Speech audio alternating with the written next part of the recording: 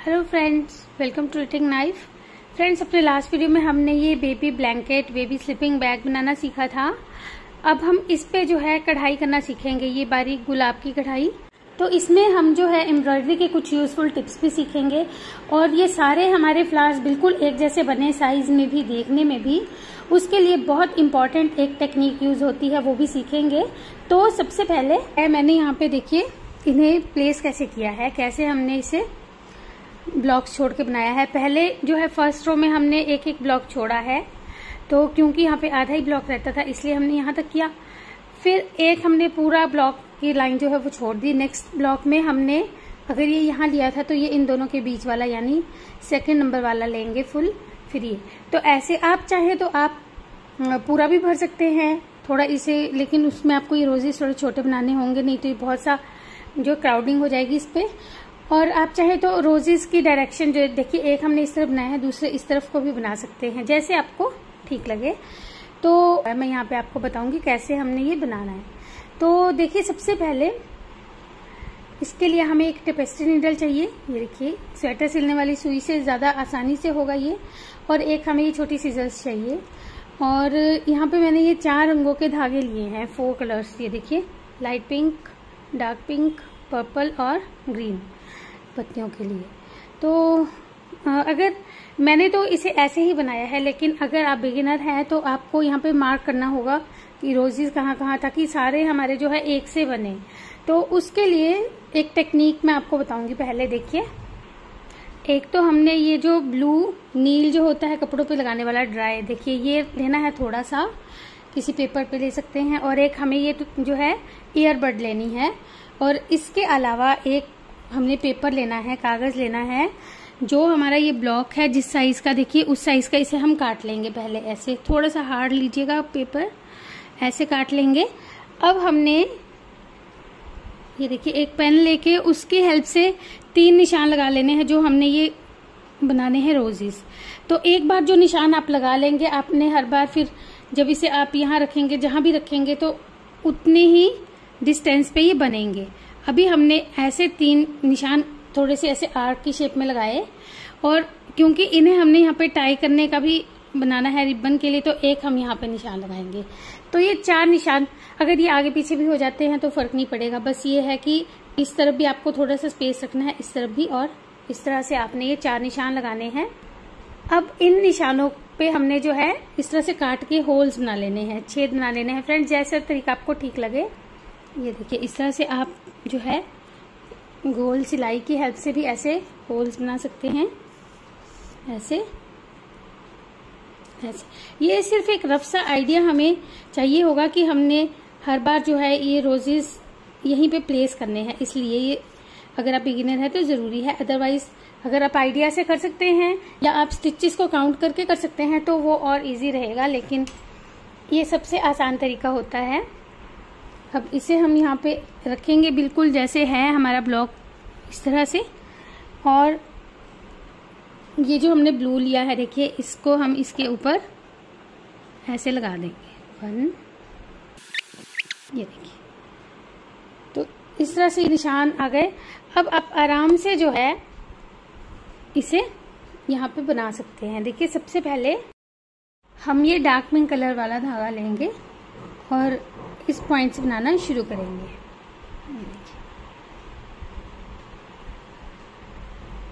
अब ये जो हमने पॉइंट लगाया है, ये बीच में है तो हम यहाँ से इसे बनाना शुरू करेंगे। देखिए, पहले हम इसमें चार बार इस तरह से धागा रैप करेंगे। चार बार धागा घुमाएँगे नीडल पर और इसे खींच लेंगे।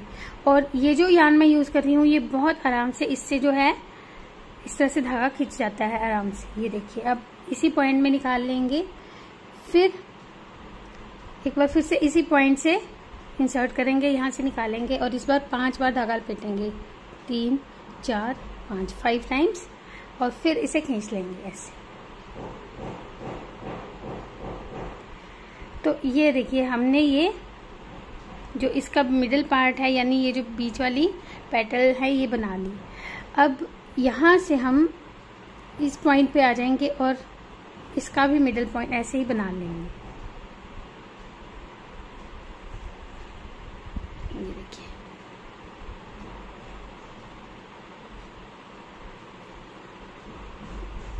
एक, दो, तीन, चार बार पहले घुमाएँगे। अब यहाँ पे तो हमने दो पेटल्स बनाई थी, बीच वाली थोड़ी सी बड़ा बनेगा रोज तो इसकी हमने तीन पेटल्स बनानी है थ्री पेटल्स डार्क वाली एक बार बनाई। अब ये इस टाइप इस तरफ़ जो है पाँच बार बनाएँगे, एक, दो, तीन, चार, पाँच, ऐसे। खींच लेंगे। फिर इसी पॉइंट में और यहाँ से निकाल लेंगे ऐसे। और इस, फिर इसी पॉइंट में डाल के यहाँ से निकाल लेंगे यूँ और इस बार हमने छह बार धागा घुमाना है।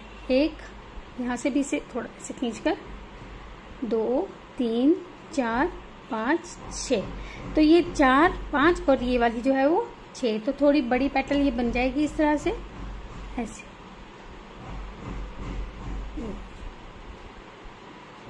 फिर से इसी पॉइंट में नीडल इंसर्ट करेंगे और जो नेक्स्ट वाला है हमारा फ्लावर ये, इसके बीच में फिर से हमने दो बनानी है, लेकिन पीछे से ध्यान रहिए धागा ज़्यादा नहीं खींचना चाहिए इस तरह से। और फिर यहाँ पे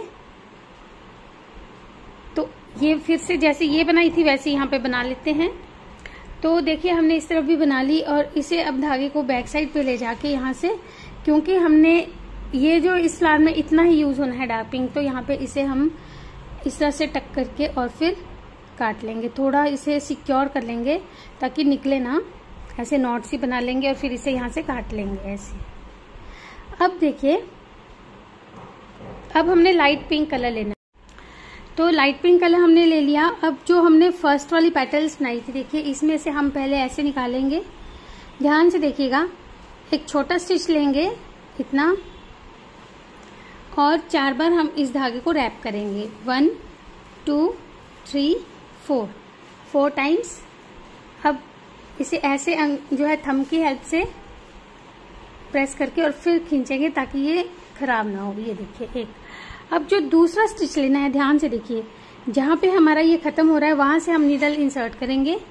और ये जो हमने स्टिच लिया है, इसके आधे पे, जैसे मान लीजिए अगर ये हमारा जो है एक इंच होता तो हमने आधे इंच पे ऐसे निडल निकालनी है और जिस तरफ़ हमने ये डार्क पेटल्स बनाए उस तरफ़ को निकालनी है, ये देखिए ऐसे। अब फिर इस धागे को यहाँ से खींच लेंगे। और आगे हमने इसी पेटल से जुड़ते हुए एक स्टिच यहाँ तक निकाल लेना है, जहाँ तक ये है, धागा यहाँ तक। ऐसे। अब इस बार हमने यहाँ पे पाँच बार धागा रैप करना है। One two three four five five times wrap किया और फिर इसे खींच लेंगे। ऐसे। तो ऐसे हमारे ये दो स्टिचेस बने। होप ये आपको क्लियरली विजिबल होगा। ये देखिए। अब फिर यहाँ से हम इसी पॉइंट से जो है निडल डालेंगे इंसर्ट करेंगे और इसके बीच में से निकाल लेंगे। तो हमेशा हमने स्टिच के आधे में से इस तरह से निकालनी है। और फिर जितनी लेंथ का हम ये ले रहे हैं स्टिच इतनी ही लेंथ का, ये इससे थोड़ा सा आप बड़ा ले लेंगे। और फिर हम यहाँ पे पाँच बार इस तरह से रैप कर लेंगे। फाइव टाइम्स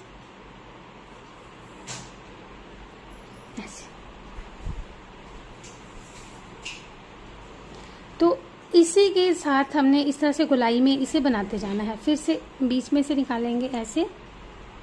ऐसे। और ऐसे हमने ये चारों तरफ़ बना लेना है। तो हमने ये देखिए, ये फाइव पेटल्स बना ली, पाँच और एक हम फिर से यहाँ पे बना लेंगे इसे फिल करने के लिए। ये देखिए लास्ट वाली के यहाँ से निकाला और जो है फ़र्स्ट वाली के पीछे से ऐसे। और फिर हमने पाँच बार ही धागा लपेटना है। One two three four five और इस तरह से हमारे ये जो एक फ्लावर है, छोटा वाला, ये कंप्लीट हो गया। अब नीडल इंसर्ट करेंगे। पीछे की साइड से ऐसे, इसे यहाँ पे एक बार थोड़ा सा सिक्योर कर लेंगे ताकि ये निकले ना। और धागा काटेंगे नहीं, इसी को हम ऐसे आगे ले जाएँगे अब। ये देखिए, यहाँ से। अब दूसरी वाली जो ये बीच वाली पेटल है, ये, जो है ये फ्लावर ये थोड़ा सा बड़ा बनेगा। तो इसके लिए हमने पाँच पहले लेनी है पेटल जो है ये। पाँच बार हमने पहले धागा घुमाना है।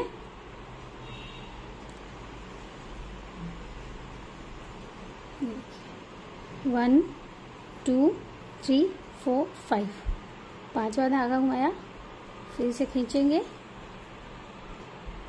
ऐसे।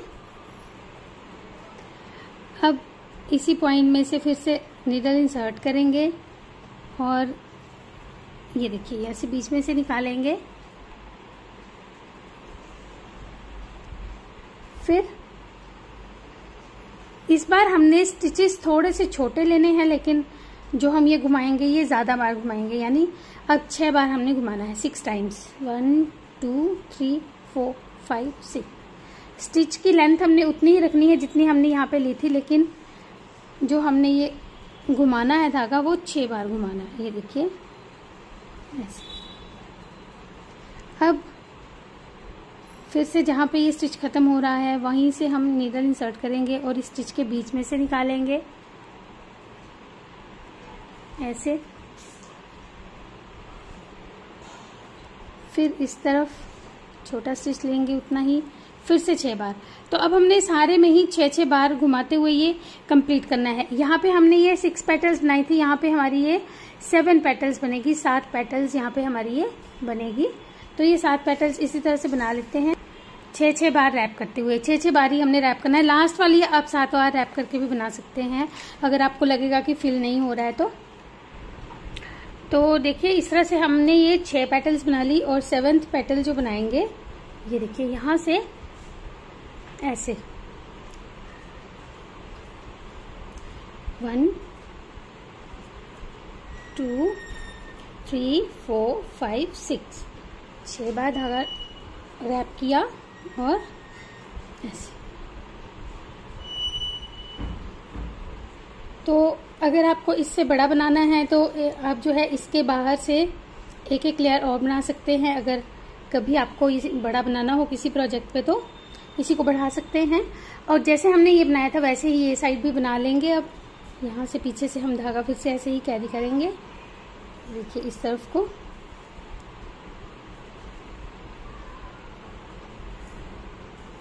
और ये वाला भी ऐसे ही बना लेंगे।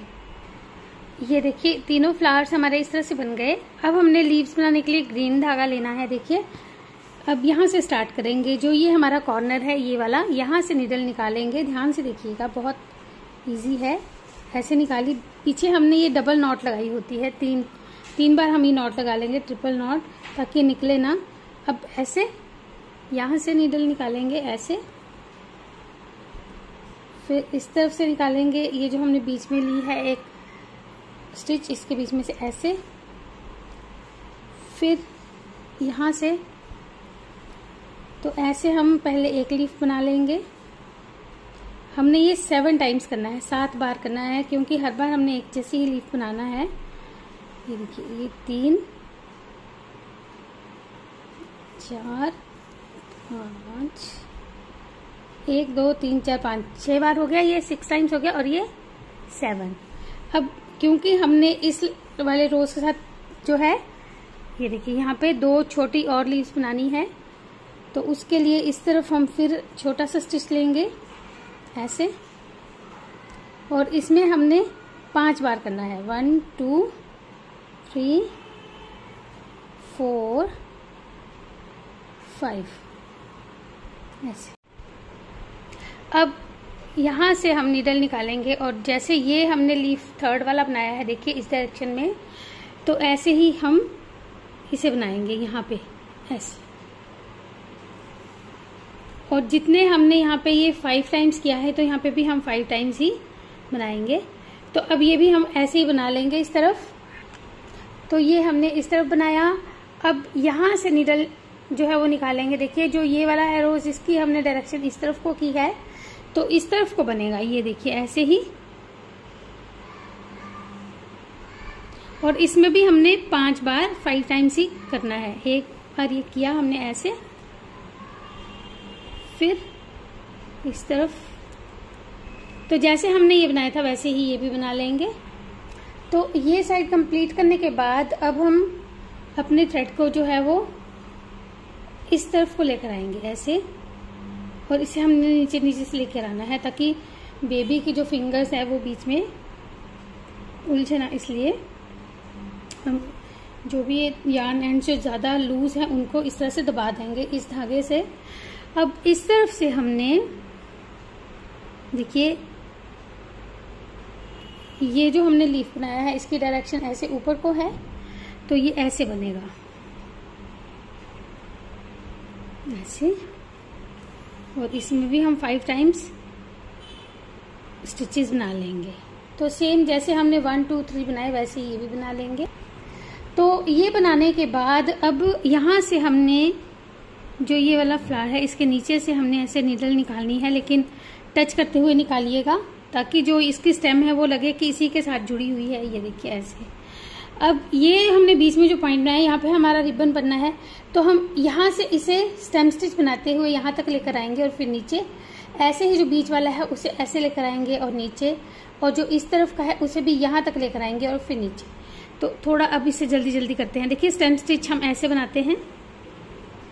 ऐसे बैक साइड पे लेते हैं, ऐसे स्टिच थोड़ा हम इसे बड़ा बड़ा बनाएँगे, क्योंकि इसे हमने जो है बाद में टाई करना है, ऐसे। ये देखिए। थ्री फोर फाइव तो इसे हम कॉर्नर तक ऐसे ही ले जाएँगे। ये देखिए, ये कॉर्नर से एक स्टिच पीछे तक हम इसे ऐसे ले आए। लूज लूज रखा। अब यहाँ पे एक छोटा सा स्टिच बनाएँगे ऐसे, और फिर इसे यहाँ निकाल लेंगे, बीच वाले। ये हम छोटा स्टिच इसलिए बनाएँगे ताकि पीछे से ये लॉन्ग जो है इसका लूट ना रहे, लंबा धागा ना रहे, बच्चे की जो है रीज़न यही है कि उंगलियाँ वगैरह ना उसमें उलझे। अब फिर यहाँ से सीधा बनाते हुए हम इसे लेकर आएँगे, देखिए। ऐसे। इसमें हमने थोड़े बड़े बड़े स्टिचेस लिए हैं तो ये देखिए इस तरह से बना है। अगर हम छोटे छोटे स्टिचेस लेंगे तो वो काफ़ी घना हो जाएगा। ऐसे। अब ये जो थर्ड वाला है, ये देखिए, यहाँ से हम निडल ऐसे निकालेंगे और इसे भी यहाँ तक लेकर आएँगे, इस तरह से वन टू थ्री फोर और कॉर्नर में इसे ख़त्म कर देंगे। और अब पीछे से इस धागे को हमने यहाँ से, देखिए, ऐसे फिनिश कर लेना है। साथ में हम ये जो लॉन्ग लूप्स हैं, जो ये लॉन्ग लॉन्ग हमारे इस तरह से गए हैं थ्रेड्स इनको हम ऐसे दबा देंगे इससे।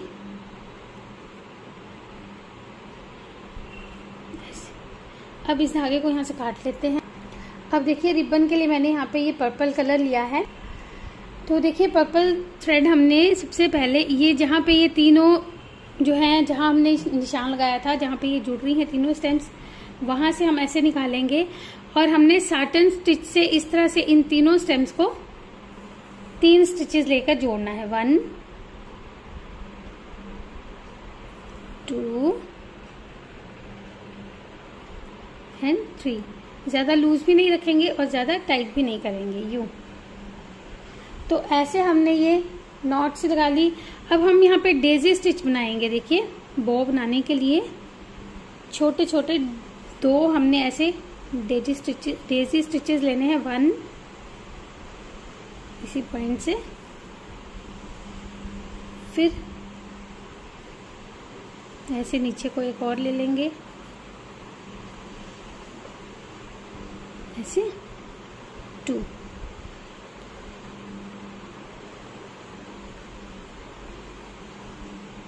ऐसे? अब इस तरफ़ लेके आएँगे नीडल इस साइड पे, और जैसे ये रिबन्स का जो एंड्स है, वो बनाएँगे हम। एक बार इस तरफ़ को बनाएँगे, एक स्टिच और एक स्टिच थोड़ा। ज़्यादा ऊपर को नहीं करेंगे। हवा में नहीं तो ऐसे दिखाई देगा कि ऊपर को उड़ रहा है। तो इसकी भी डायरेक्शन थोड़ी सी ऐसे नीचे की तरफ़ को करते हुए इसे भी बना लेंगे और इसे यहाँ पे अब फिर से बैक साइड से फिनिश कर लेंगे टक करके। और जितने भी यान एंड्स हैं, उनको सिक्योर करके फिर काट लेंगे। क्योंकि बैक साइड से भी हमारी एम्ब्रॉयडरी उतनी ही फाइन दिखनी चाहिए, ऐसे। अब इसे हम यहाँ से काट लेते हैं। तो देखिए, हमारी बैक साइड से सारी एम्ब्रॉयडरी इस तरह से दिखाई देगी और फ्रंट से हमारी ये इस तरह रेडी हो गई है। चलिए, इसे अब जो है यूज़ करने के बाद देखते हैं कैसी दिखाई देगी। देखिए, इस तरह से हमारा ये बेबी बैग जो है, वो कंप्लीट हो चुका है। और आप चाहे तो इसके हुड पे भी एम्ब्रॉयडरी कर सकते हैं। तो फ्रेंड्स इसे ज़रूर आप ट्राई कीजिएगा। बहुत ही जल्दी होने वाली है ये एम्ब्रॉयडरी मिलते हैं फिर एक और नई वीडियो के साथ। तब तक जुड़े रहिए चैनल से। केयर